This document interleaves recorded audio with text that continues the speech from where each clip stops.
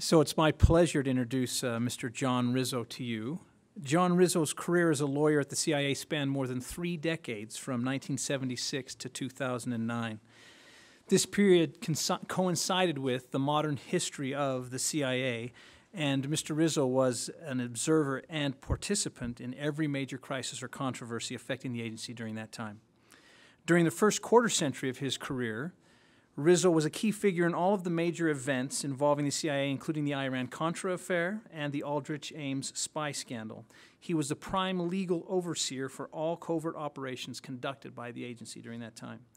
In a 2009 profile, the Los Angeles Times described Mr. Rizzo as, quote, the most influential career lawyer in CIA history. That's a pretty good uh, that's a pretty good description if you want to if you want to have someone say something good about you. His forthcoming memoir, Company Man, which I hope he'll give us a sense of today as he speaks to us, uh, chronicles his CIA career, and it's it's due to be published in January of 2014. Shortly after the 9 11 terrorist attacks, Mr. Rizzo became the chief legal advisor for the CIA, a position he held until his 2009 retirement. And as the legal architect for counter-terrorist activities like the Enhanced Interrogation Program and the CIA secret prison system, he became a hugely controversial public and political figure in his final years, which of course makes him hugely interesting to listen to as he talks. On a more personal note, as I was uh, looking for people to bring who could bring to bring to BYU who could provide some expertise. It, I was universally pointed towards Mr. Rizzo as someone who would be a very interesting speaker and someone who could really provide us a very interesting and entertaining uh, presentation. So, Mr. Rizzo, to you.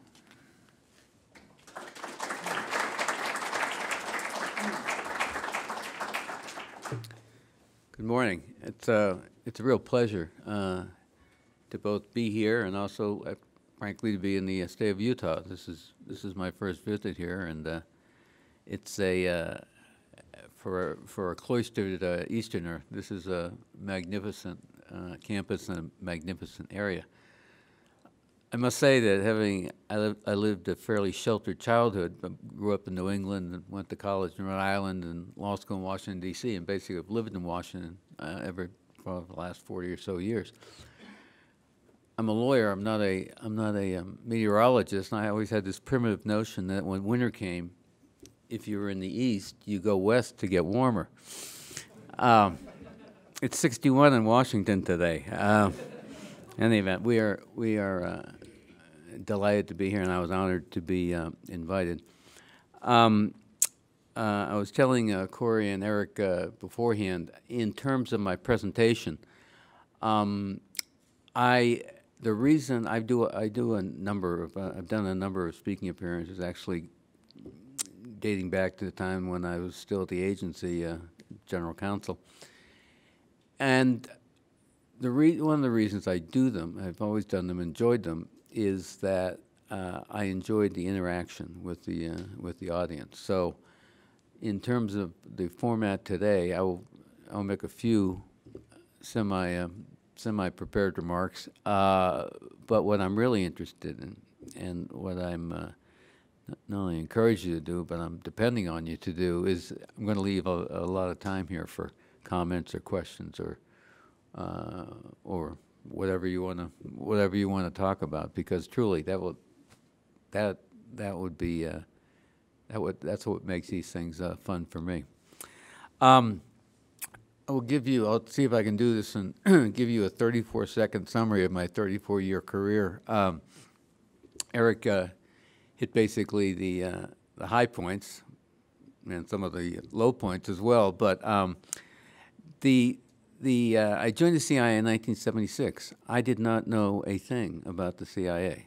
I, I, I, I didn't know anyone who was there all I knew about it was, you know, the same pulp novels and movies that everyone else uh, uh, was watching. I had no insider connection, so it was really a uh, a total leap of faith to uh, for me to have joined. I was I was in my you know, late twenties. I was restless in my in my uh, legal job I had, so it was really uh, it was pure serendipity, and you know, over the years, I, I, uh, I mean, I was so, I've been, I was so lucky uh, looking back on it, um, my career, in that I was, I was introduced to issues uh, met people, went to places I, that were unimaginable, uh, would have been unimaginable to me. Um, and there's certainly nothing that college or law school ever, uh, ever prepared me for, which is, I mean that in a good way, that it was much better, uh, the experiences I had. So,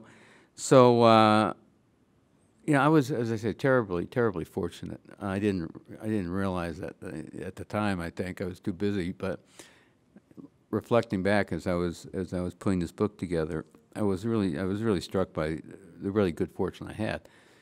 Now, you know, like much of American life, and certainly much of the uh, life of American national security and foreign policy issues, 9/11 was the was a turning point in so many ways and that just happened to coincide with the uh, with the uh, period a month or so after 9/11 attacks. I was the deputy general counsel, number two position in the office. The general counsel, uh, who was a political appointee, uh, left, not because of 9/11. I mean, he had plans to leave before then. But in any event, I was thrust into the acting general counsel role uh, in November of 2001. Um, total you know, total, total ironic coincidence. And it was there after spending 25 years happily under the uh, under the radar that uh, I began began it began a period of time up until the time of my retirement where I suddenly, unexpectedly, uh, became a, uh, public figure, and um, uh, it was a it was a new and searing uh, experience for me. I was nominated in President Bush nominated me in 2005 to be the CI General Counsel. It was a presidential appointment, Senate confirmation. So, presidential appointment part was uh, was easy, relatively speaking. I was the first career CI lawyer to be nominated for the top job. But then came the Senate confirmation process, which was not, which was uh, well, it was eventful. Let's put it that way. I um, I am the uh, I am the guy. Um, uh, the so the the uh, CIA enhanced interrogation program, uh, which you know became became famous or infamous uh, depending on your point of view, which included the waterboarding technique, all of that. You may recall there was there were legal memos prepared by the Department of Justice, signed by Jay Bybee, who Eric tells me has a strong connection here. Uh, uh, so, uh, um, which I didn't actually focus on. Jay Bybee, as head of the Office of Legal Counsel, Department of Justice, signed those opinions.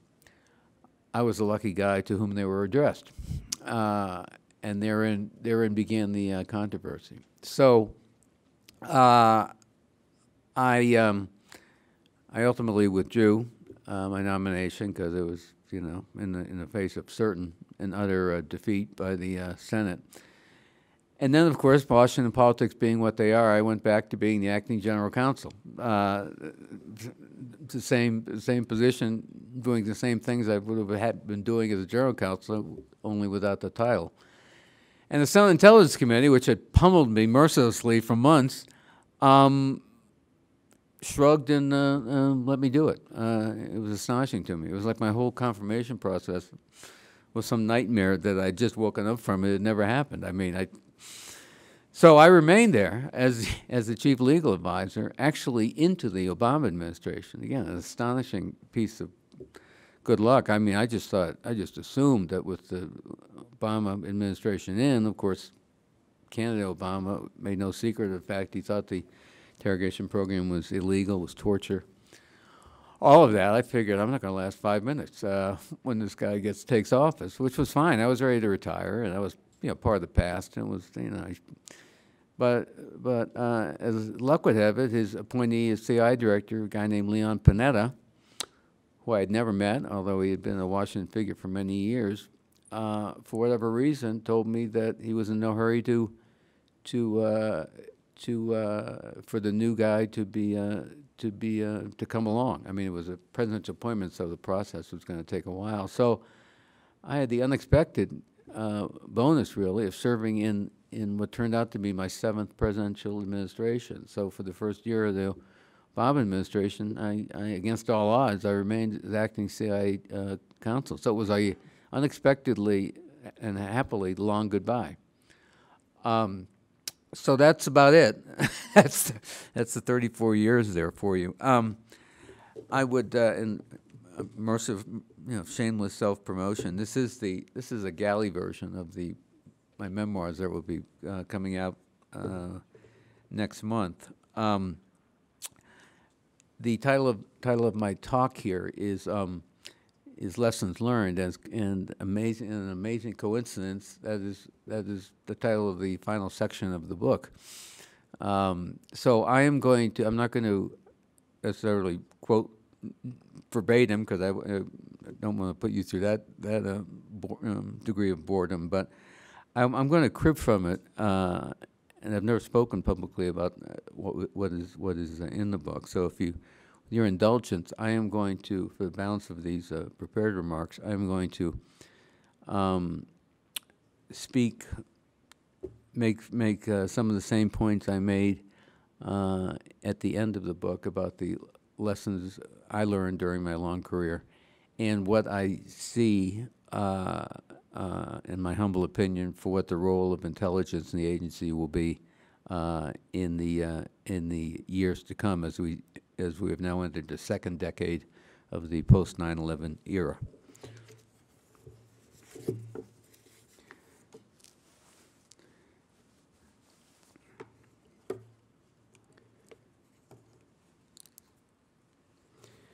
Um, okay, let me let me first, in terms of lessons learned and look forward, let me uh, briefly address the uh, momentous, fateful years since the attack of, of September 11th.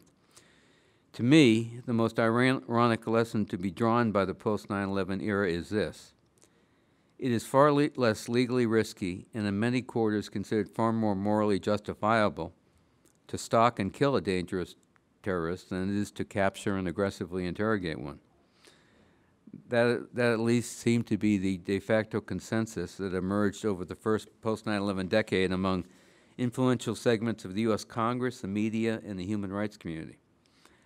How else is one to explain all, this, all the noisy outrage and long, splash, splashy investigative articles about CIA secret prisons and interrogation techniques, while all the while, this is in the early years after 9 11, while all the while Al Qaeda operatives were getting blown to bits in plain sight by U.S. drone aircraft without generating a ripple of criticism anywhere in the Congress, the media, or any international human rights organization. To these entities, apparently, killing didn't appear to be that big a deal up through the time, at least up through the time I retired at the end of 2009. By contrast, for many of us at CIA, being direct, directed by the President of the United States to target people for death, even Al Qaeda terrorists, was always a big deal. Late in his administration, President Clinton had issued some ambiguously worded and highly caveated directives to the agency about killing bin Laden and his cohorts. But with bin Laden nowhere to be found, and the agency, frankly, being unable to find him in those years, uh, that moment, of course, bin Laden's demise would not come until the night of May 2nd, 2011 in that walled compound in Abbottabad, Pakistan.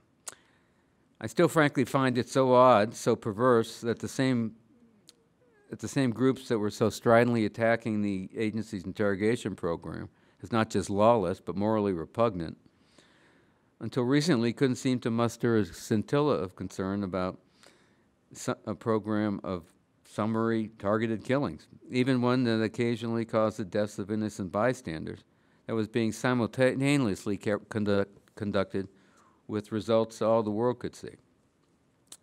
From the earliest days after 9 11, our priority, the agency's priority, was to capture Al Qaeda leaders, not kill them.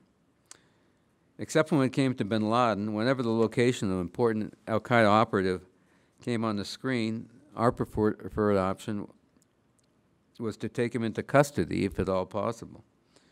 In February 2002, when the first so-called high, high-value terrorist detainee was captured, a, a, uh, a, a character named Abu Zubaydah, um, the agency, we in the agency ordered or um, ordered our Pakistani colleagues who actually made the uh, capture to take him alive. Zubaydah, however, decided, declined to go quietly and was seriously wounded in the ensuing gunfight. But rather than let him die, the agency moved heaven and earth to get him the best medical care that's, that ultimately saved his life. Zubaydah and, and a little later, uh, about a year later, uh, the, the ringleader of the 9/11 attacks, Khalid Sheikh Mohammed, were both become the most prominent subject of the CIA interrogation programs, and they also became, at the same time, and not coincidentally in my view, the most productive uh, sources of information uh, that, that came out of the interroga- interrogation program. That the CIA so instinctively and insistently adhered to this approach shouldn't be surprising. First and foremost, we are, CIA is, an intelligence collection organization. And collection of intelligence from human beings has always been in the CIA's institutional DNA. Always has been, really, ever since I, I joined. And you, obviously, you can't collect intelligence or anything about, whether it's about an upcoming terrorist attack or anything else for that matter, from a dead man. It's as simple as that. Accordingly, during my time in the post 9 11 years, killing terrorists was not the final option, and was certainly not the only option. Now, flash forward to today. Times have changed indeed. As this, uh, as I speak today, the, Bin Laden has been dead and buried for more than two years. Of course, the CIA's interrogation program has been dead and buried for four years. It was, you may recall, it was one of the first uh, acts President Obama took when he uh, uh, assumed office, issued an executive order two days into his presidency abolishing the interrogation program, uh, and for good measure, uh, declassifying in their entirety uh, all of the um, all of the Justice Department Office of Legal Counsel uh, memos uh, that were issued to me, uh, which gave me one final burst of uh, uh, publicity in my last waning months at the at the agency. I should note parenthetically that it was it was um, unprecedented in my experience for an incoming administration to so suddenly and totally uh, declassify what had heretofore been a a uh, a uh, covert, uh, a sensitive and highly classified covert action program. I'd never seen that before. Any, in any event, by all appearances, we are the agency uh, today is out of is, is out of the interrogate, interrogation uh, business. I assume forever. So, what continues today to be the fulcrum of the Obama administration's um, um, offensive against Al Qaeda? According to a non to a nonstop stream of media accounts over the past three years, which of course this is all I have to go by now, um, it's killing people, a lot of people, via a relentless and escalating uh, barrage of drone attacks. Even a U.S. citizen or two, apparently, along the way. I don't doubt that virtually all of these people uh, who were targeted uh, richly deserved their fate. Now, in, in any uh, another aspect of the drone program is that while it's become incredibly more sophisticated uh, since 9/11, there's still no no way of ruling out uh, completely uh, so-called what is clinically inseparably returned or referred to as collateral damage, which which in real life terms mean innocent uh, women and children being caught in the uh, fire, and that is still inevitably that is when you escalate drone attacks, there are going to be more such uh, instances. Um, at the same time, it also seems evident that the U.S. government efforts to capture and interrogate Al Qaeda operatives overseas have effectively ground to a halt. A halt. According to media reports, the Obama administration's scorecard in this regard, at this writing, has been a grand total of two terrorists detained overseas. So, the question uh, ultimately becomes, at least in my mind, was the Obama administration's enthusiastic embrace of a robust, aggressive policy to kill terrorists um, directly connected to or even compelled by its, its decision to repudiate a robust, aggressive policy of capturing and interrogating them Obama aides, uh, including my old friend and uh, colleague at CIA and now the CIA director, John Brennan, uh, deny that's the case. Um, But with all due respect to uh, John, I don't think you need to be a uh, crack CIA analyst to connect the dots on what, on what seems to be going on. Um, Which finally will, will take me to the, uh, I will wrap up uh, uh, my portion of the uh, presentation. Let me just end here with the ultimate question about what, in my view, uh, is going to be uh, CIA's assigned anti-terrorism role in the future. Well, one thing I can say, I think, with, with as close to certainty as one can get in the intelligence business, I can't imagine the agency ever again coming close to running secret prisons, detention facilities, or engaging in even mildly coercive uh, interrogation practices. Given the seemingly enduring controversy over the legacy of terms like uh, entered the national lexicon in the last decade, waterboarding, black sites, I can't see uh, any president ever reopening that, that can of worms again. I mean, just for example, the just just last year, uh, the huge controversy that that uh, that ensued after the uh, after uh, the movie Zero Dark Thirty came out about that first half hour of the um, purported scenes of CIA uh, conducting harsh interrogations. Just you know, re re reinvigorated all the Sturm and Drang uh, uh, from from uh, the previous decade. I mean, it's remarkable to me. Um, frankly, maybe it maybe it's a little naive, but after all this time, with with the program, as I say, dead and buried for for years now, and never coming back, it's still it's still it's still in many ways the third rail of, of national security uh, controversies. I mean, sure we we've had now belatedly some you know questioning by by heretofore quiet groups on the uh, um, on the political side and on the human rights side about about the uh, Obama uh, administration's policy escalating uh, drone attacks, and sure more more recently in light of the Snowden dis- disclosures, we've had controversy questions again by elements of Congress and by the human rights community about about the seemingly pervasive uh, surve- electronic surveillance conducted by the U.S. intelligence community in general, and the um, and the NSA in particular. But but frankly, whenever those, at least in my mind, those controversies have always have always been dwarfed, are still being dwarfed by any mention whenever someone brings up again the issue of interrogations and what is torture and what isn't. It's, I mean, I am reconciled to it, honestly, to, to following me for the rest of my life, and, you know, so be it. But it's remarkable the durability it's had in the, in the, in the, in the nerve it has struck, uh, and, and seemingly uh, forever in the American political and cultural, legal, and certainly national security uh, psyche. Um, and and uh, as I say, I think that's going to uh, going to continue.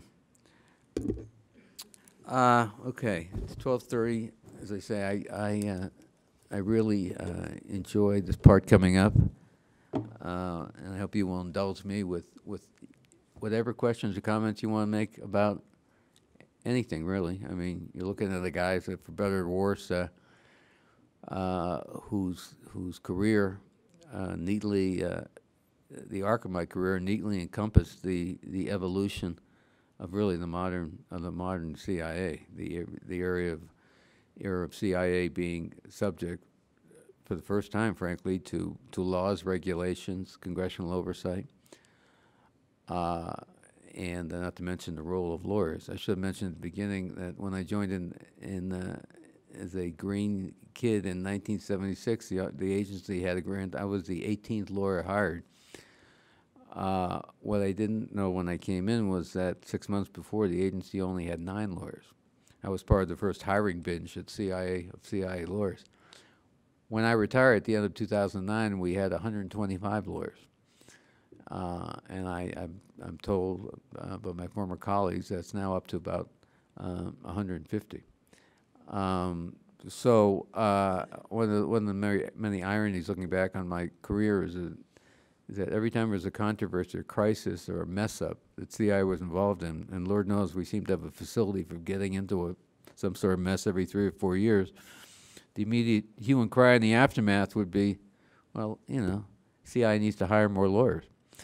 So ironically enough, the, the fact that these scandals might have been uh, poisonous for the uh, for the uh, agency's image and uh, reputation. It, uh, perversely enough, it was always a great hiring boon for for uh, our office of general counsel. So that's it. Um, so please ask me or uh, anything. Okay, so you see the microphone over there, and as you have a question, if you want to line up behind the microphone, and please, when you have your question, state who you are and uh, your affiliation if you want, and then uh, ask the question. Since I get the prerogative to ask the first question, I'm going to take that now. I I actually have a long list here of questions, but let me just start with one that was really two questions, but I'm only counted as one.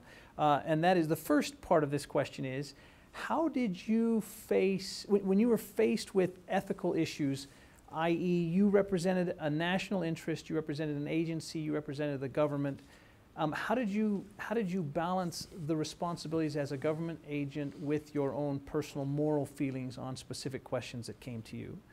And the second part of that question, which is actually completely unrelated, is uh, th- recently reported that the CIA was going to hand back drone operations or hand off drone operations to DoD, and then more recently reported that they were not going to hand off drone operations, rather they were going to keep that.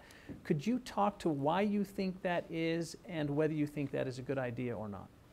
And please feel free to line up with, with your question. All right, that's a heck of an icebreaker question there. Yeah, Uh, I wanted to start easy.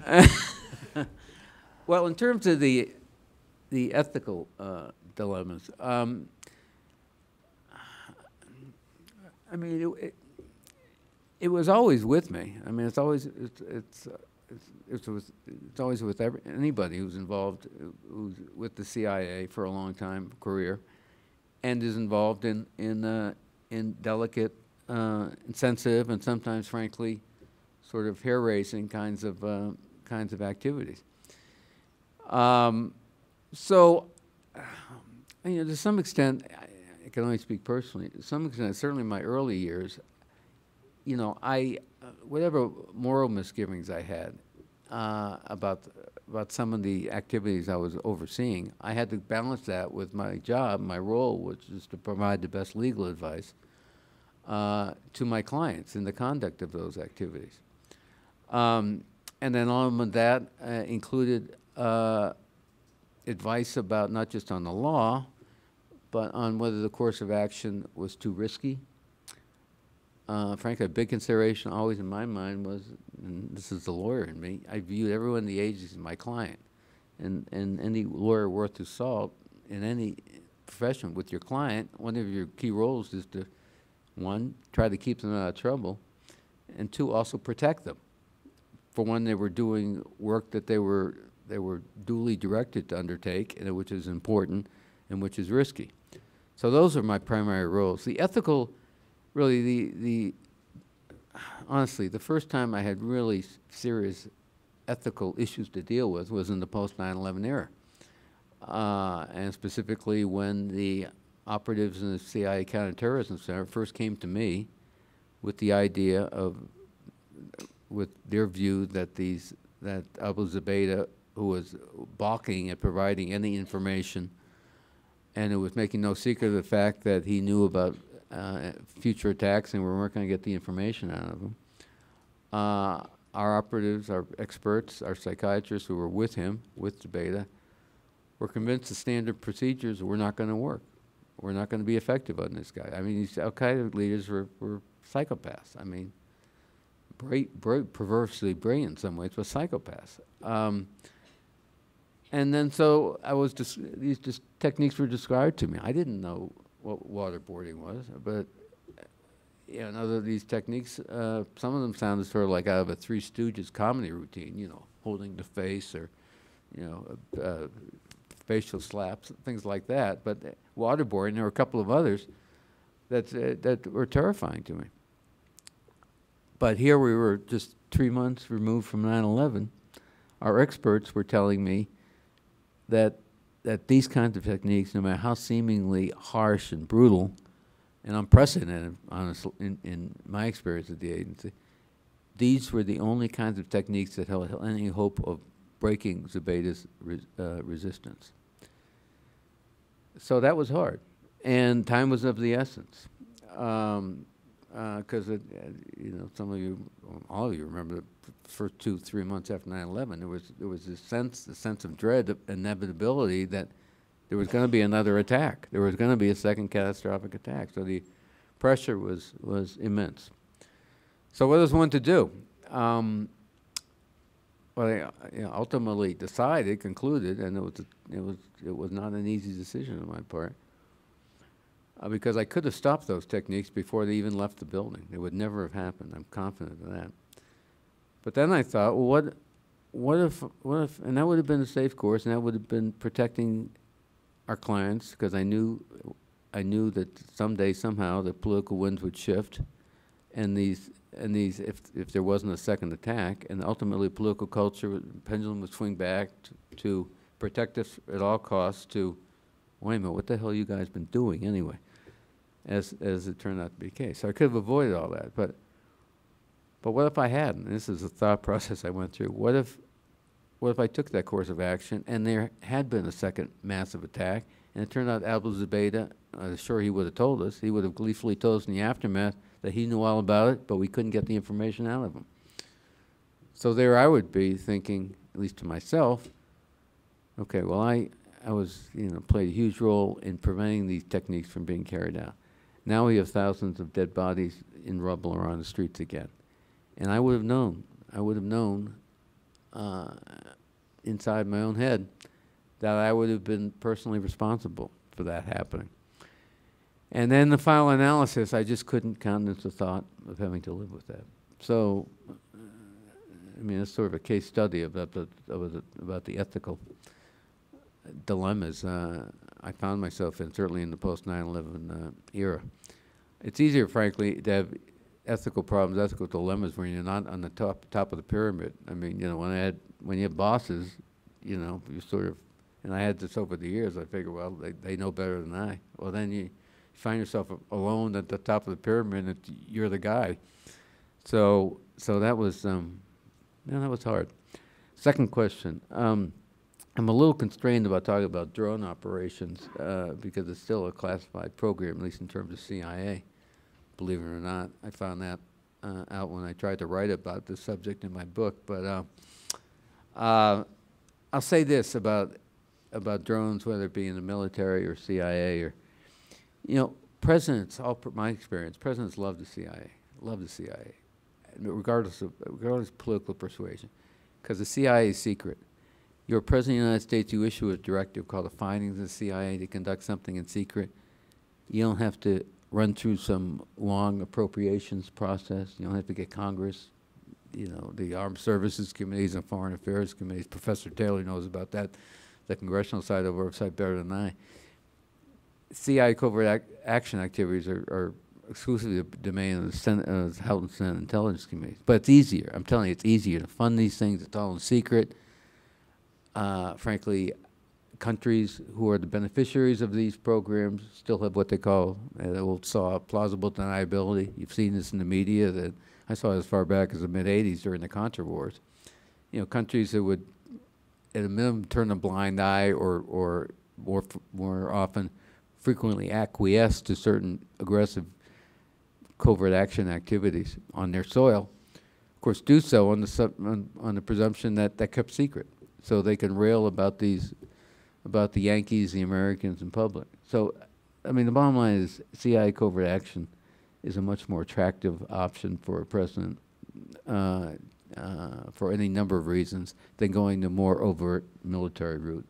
And that's why, in my view, that's why I personally will doubt if the, if ultimately the responsibility for CIA for the drone program resides exclusively with the Department of Defense. Okay, that was a long answer. I'm sorry.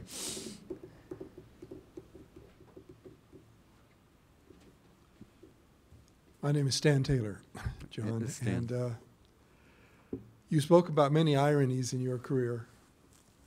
I wonder if you've ever thought about the irony of all of the criticism that came uh, to the intelligence agencies after 9 11, particularly coming out of the famous commission, 9 11 commission, about the intelligence agencies. Uh, the political cartoons were really crude. They, they couldn't connect the dots, was the phrase you heard over and over and over again. And now, you know, this many years later, they have all the dots connected, but now they're getting slapped for doing that. Yeah. Does Yeah. that uh, seem a part of your ironical story? It is. It is. It is a piece of that, Stan. Yes. Um, you know, I, I cover this some of this in the book, but frankly, I try not to think about it too much because it would it would drive me crazy. So so, um, yeah. The uh, I mean, uh, you remember because you were there in the '90s on the, in the Congress. There was a great hue and cry about CIA uh, getting too too too closely involved, getting in bed, so-called, with nasty, nasty characters around the world, the Guatemalan death squads, uh, Noriega, uh, you know, uh, you know, the CIA, the CIA had, lost its moral compass. It's, you know, it was just dealing with too many dastardly people. That was during the 1990s. And Congress, and, you know, pressured CIA to, to undertake all sorts of reforms about, about the kinds of so-called dirty assets it dealt with and all of that. 9/11 happens, and immediately hue and cry comes comes up. There, there were two there were two sort of buzzwords. One was, why didn't you connect the dots? And two, why were you so risk averse? Why didn't you infiltrate Al Qaeda? You know, you guys, but what are you there for? You, you, you know, what, why didn't you? Why, why, why did you guys, you know, such such wussies about about dealing with the toughest characters in the world without a hint of self awareness? Um, as I as I mentioned, the the, the hue and cry was in post 9/11. Do whatever you have to do to prevent a 9/11 attack. We don't care. You screwed up the first time. You let this happen once. You cannot let it happen again. Okay. So we've taken these unprecedented measures. No attack, no second attack. The years go by, and, and all of a sudden the pendulum switch. Uh, Those who've been around for years knew this was inevitable. And of course, not having a second attack was a blessed thing. But and then then and, it, and increasingly it came, you guys, uh, you know, you guys are torturers. What do you think? And this is contrary to all U.S. values. I mean, again, there's no sense of perspective. You know, one of the things I try to do in the book by taking the long views, walk through all these episodes and say, look, this is the way it goes. Pendulum swings, and the agency, you know, which uh, it's often caught in the middle. So sure, yeah, there are many ironies uh, that I that uh, I've seen, but uh, 9/11 and the and the uh, and the and the total swing uh, back and forth. Now even with the NSA uh, revelations, I mean, I mean honestly, did did I mean the Congress and the media or or certainly foreign foreign uh, these foreign uh, countries really think we weren't doing this kind of thing? And they you know that that I mean, this is intelligence collection. This is even covert action. This is what people said, you know, CIA should do more of. More aggressive intelligence collection. Lay off the covert action. Okay. So intelligence community, wonderful technology, wonderful capacity to, to collect information. And now all of a sudden we're, you know, the, the, the criticism, uh, stark criticism is, whoa, you know, you're, you're spying on, you know, you're spying on my personal life, you know. Um, I mean, you just live with it. If you're in, if you're in the intelligence community, you just have to roll with it because because next next month there'll be something else. That's the way it goes. Yes, sir. Uh, name is Dallin McKinnon. I'm an international relations major. And another one of the things we learned from 9 11 was that we had to have more institutional cooperation between federal agencies and departments. I'm just wondering, since your career spanned the pre and post 9 11 eras, if, if you could maybe describe how effective we've been at instituting that change to have more a a more free flow of information, and if there are still major obstacles that you encountered. Well, uh, well it's it's uh, it's improved. Uh, it improved immensely in the post 9/11 era. I mean, I was uh, I was particularly struck uh, by by the willingness, the newfound willingness on both sides, the FBI and the CIA, to cooperate and share information. I mean, honestly, I was at the agency for 15 years before I even met a, anybody from the FBI. I mean, they were just so. And in retrospect, this was this, even 9/11 hadn't never happened. Uh, it was it was you know it was it was it was dysfunctional. It wasn't right, but there was just a clash of cultures. One thing CIA and FBI had uh, in common, of course, after 9/11, uh, 9/11 aftermath was the was the uh, understanding that, that neither institution would, would be able to survive if they if another if a second undetected attack was allowed to take place. So that sort of, I think, more than anything else, pulled both uh, both agencies together. So the cooperation with the FBI has been, in the years since 9/11, has been uh, night and day. Uh, Similarly, the cooperation with the uh, Department of Defense, the military, is improved, uh, has improved uh, considerably. I actually think, my perception, my perspective is that um, it, um, that still needs some, still needs some work. You know, I, I have a certain bias coming from the intelligence community side, but DOD is so huge and massive, and the, you have the, um, you know, various elements, the various services, you have the CINCs overseas. There's a lot to, there's still a lot of improvement, I think, can be made in, in, in the more traditional intelligence agencies, and CIA remains mo- most, more, the most traditional and biggest dog in the hunt, to work, to integrate operations uh, uh, better with the uh, military in particular and, and DOD in general. But, but since 9/11, the overall level of, of um, increased cooperation across the spectrum of national security and foreign policy, policy agencies has been, uh, I mean, as I say, it's just been night and day from the year, from my, my uh, first 20 years or so um, uh, at CIA. So-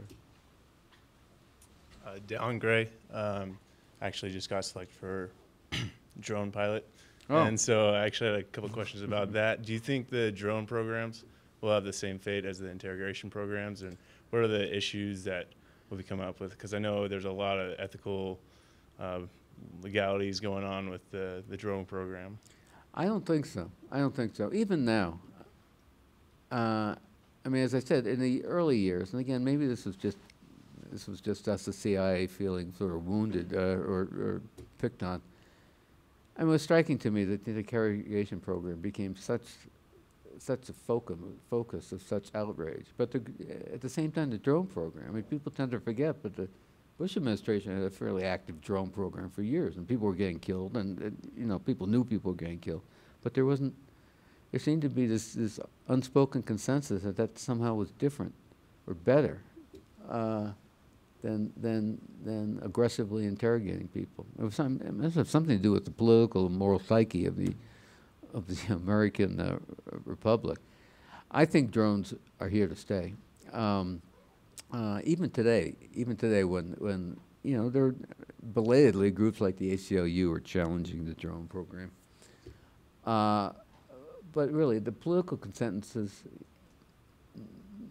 even today on the Hill, even with the increased use of drones, a wider area is still fairly solid. And honestly, I think drones, and I think U.S. presidents and and uh, and bo- both political parties uh, are much more comfortable with the drone program. And let's face it, it's better than boots on the ground. It's clinical, it's clean, it's effective.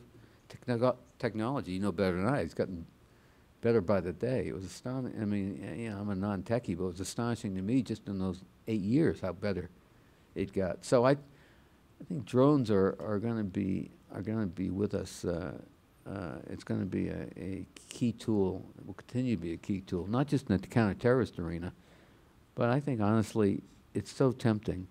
They're so good, and the techno- and they're so, let's say, lack of a better term, clean uh, form of warfare that I can see it. I can see presidents in the future expanding it outside the counterterrorist arena to get into WMD or other areas. So I think I think you uh, you should stay with the uh, drones. You'll have a safe and a productive career path for many years to come. Okay, so we may have time for one more question. If not, I've got one. Okay, I'll ask my question. Oh, go, no, go ahead. So you, you talked about the, the NSA spying on citizens, and but there's also you know the Stuxnet virus, the cyber physical, where they're destroying plants and stuff like that. Do you, can you talk about like the issues around that, or where you see that's going? Okay, well, I can't, again, I can't get into specific operations that have been leaked in the media because they still are, still are classified, but just cyber warfare uh, in general, you know, that's, that's another form of covert action. And, and in some ways, it's sort of like the drone issue. It's, it's tempting because it's, it's, no people, I mean, you know, you don't have to have, have fund paramilitary groups to do these things. You, you don't have to physically infiltrate these plants. You can, you just put a little thing in there, and then if someone, if the president says, okay, flip the switch, you flip the switch, and it's, you know, as I say, it's, it's, you know, it's, it's, it's attractive. I mean, it's very attractive. I was worried about cyber warfare because I didn't know, at least, at least by my lights, what one was unleashing. You start down that road, then what, is, then what would the other guys do? Uh, we probably still have the lead in terms of technology and expertise, but other countries will catch up. And once, uh, always to me, that, it's a very, it's a very perilous path to go down to start, start blowing things up that way. One thing, you know, the, there's no fail-safe system.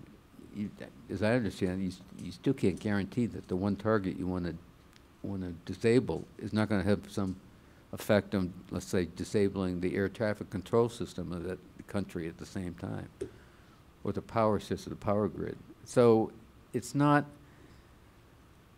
I mean, cyber warfare obviously is here to stay, uh, but it does, it does, it's always, it always, frankly, I found it a little scary, kind of a scary, potentially scary, if attractive, uh, incendiary um, uh, covert operation device. So, Hi, uh, Andrew Potts, poli sci major. First, love the pink socks with the pink tie. So good thank luck. You, thank you, Andrew. Um, so I got two questions. The second one depends on the first, though. Um, so the first one is: Were you ever a personal witness to the enhanced interrogation techniques?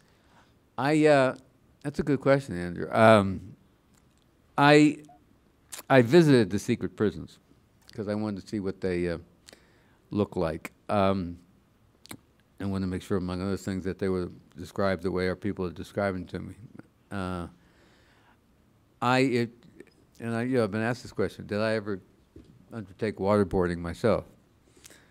I did not, uh, and honestly, I was never, I was never tempted to.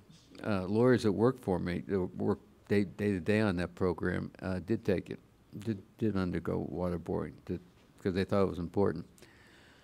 I did not. I, uh, I mean, it, was- it, it was, um, the way it was described to me, um, and what I, uh, I just uh, honestly, honestly, I didn't feel the need to do it, and I didn't. Want, I sure as hell didn't want to do it.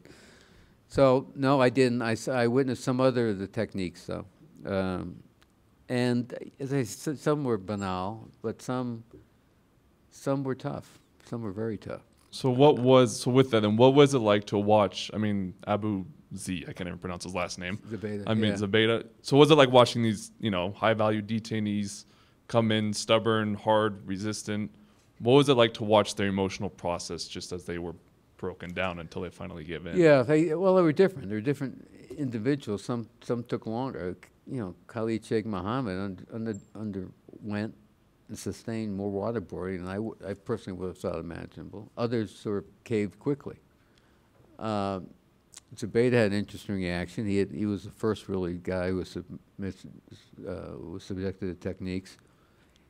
He was he was a pretty tough little guy. Uh, not nearly in the league that KSM would be, but he he reconciled, and I happened to be. Uh, I, I I heard about this directly. I wasn't physically there, but once he decided that Allah had, had, had, was satisfied that he had withstood and withheld enough, he said, then Allah said, it's okay for me to now cooperate with you.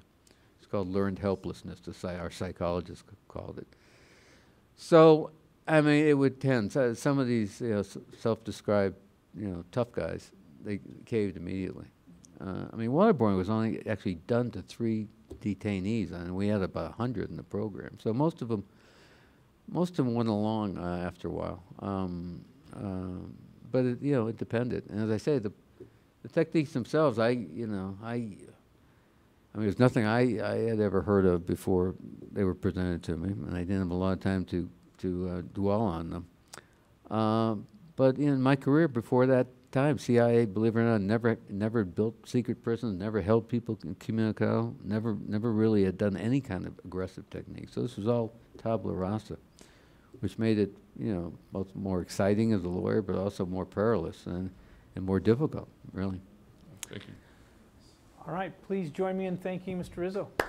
Thank you.